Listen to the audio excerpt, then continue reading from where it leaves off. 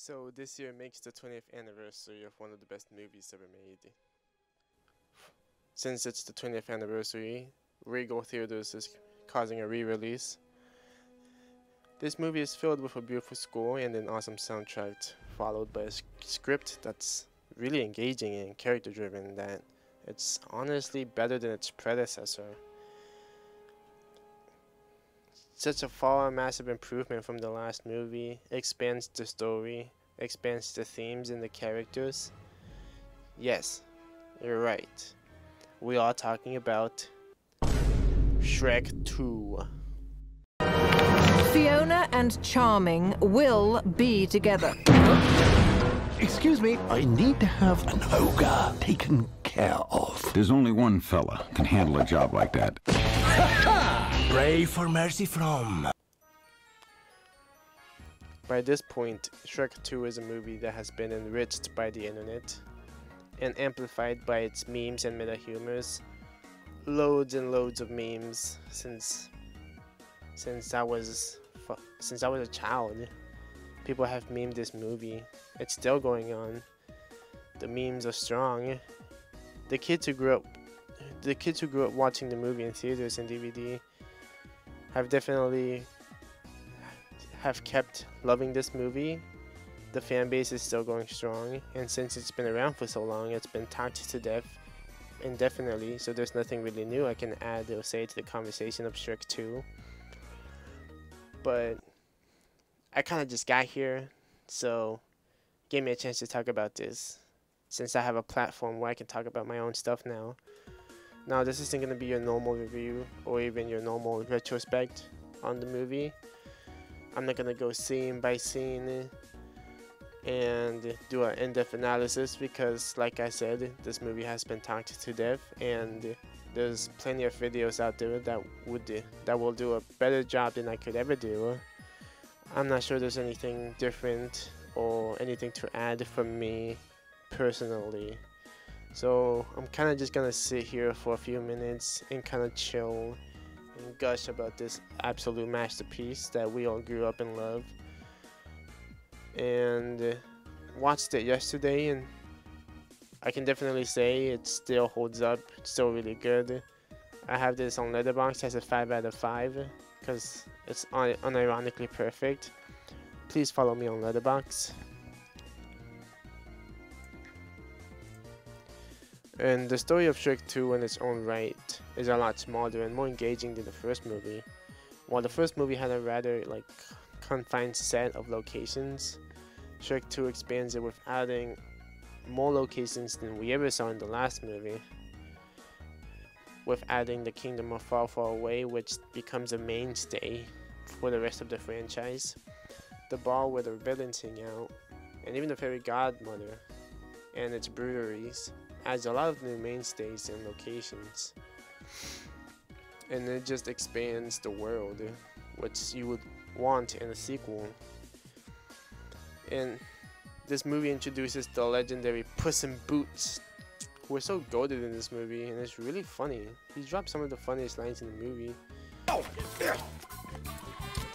Catnip. That's uh, no mine. And also King, the also the King, Fiona's father, which is played by John Cleese. And like I mentioned, Godmother, Prince Charming, even the Queen all have a good presence in this movie. Fairy Godmother is definitely one of those villains where I can see be charming, but very threatening if she has to be, and it's made clear in pretty much a lot of the scenes she's in. The jokes in this movie also go a lot harder and are funnier in this movie than they have ever gotten in the first. They have ever.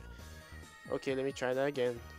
The jokes in this movie are a lot funnier than they ever were in the last movie. For example, the scene where they arrive, the dialogue in this movie is really cleverly like written, and the scenes are all like cleverly edited too. Like I said, the scene when the scene when they arrive and then everyone goes silent to look at Shrek and Fiona, and then the the the king and the queen are talking to each other while Shrek and Fiona are talking to each other as they walk up to each other. The back-to-back dialogue is really funny and cleverly handled. Same thing with the dinner scene. The dinner scene might be one of the best scenes of the movie.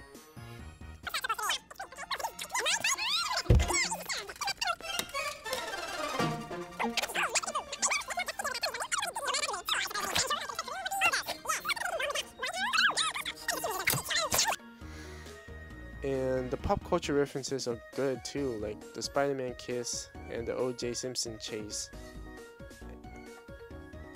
And others, a lot of, along with many other pop culture references. Alright, but let's take out your zooms. Because the music and the soundtrack in this movie are amazing and go really hard. We are kept with the fairy-esque score of the first movie with the blend of pop songs and rock songs that make you go up and down. Because of how funky they are and every song enchants the scene it's played in.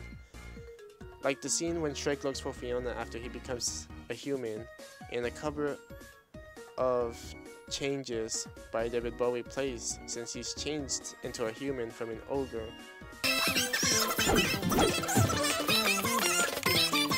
And can we acknowledge how ballsy it is, in my opinion, to change the way your already iconic main character looks and have him like that for almost half the movie? I'm telling you. Let me tell you something. Let me tell you something. Human Shrek is peak Shrek. All the all the cover all the covers in this movie are arguably better than their than their original counterparts, in my opinion, because everyone talks about the cover of the Fairy Godmother, but no one ever talks about the Fro Fro cover, and it's honestly, God, it's the best end credit song they could have chosen and made for this movie. No other kids movie will have the same end credits, like like impact as Shrek 2. I bust I bust this song every now and then because of how good it is to listen to and even sing to.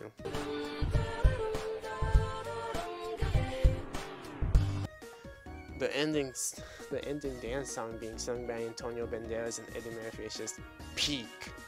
And I don't understand why why.